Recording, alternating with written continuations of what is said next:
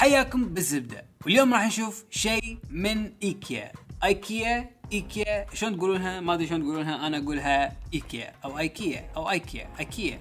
إيكيا؟ إيكيا. إيكيا. شيء اسمه كوبلا. شنو هو هذا الشيء اسمه كوبلا؟ طبعا هذا الشيء إحنا نستخدمه كل يوم في حياتنا. إذا مو كل فترة زمنية معينة علشان نشحن منه تليفوننا وهو شاحن تليفون. هذا مو شاحن تليفون المتنقل هذا شاحن تليفون تحطه بالطوفة. ليش أشتري شاحن من إيكيا؟ عندي شاحن ال HTC عندي شاحن الهواوي عندي شاحن الايفون وثلاثتهم لازم أحطهم كل واحد في plug معين وراح أجي أشوف أبطل ال plug مال ايكيا وليش هذا يفرق عنهم؟ لأنه في ثلاث فتحات. شفته في ايكيا قلت لازم أوريكم إياه لأن سعره فقط ثلاث دنانير.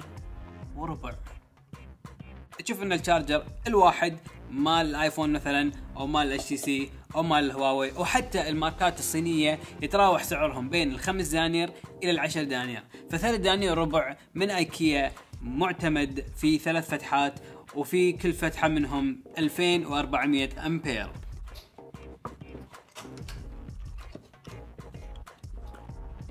ترى!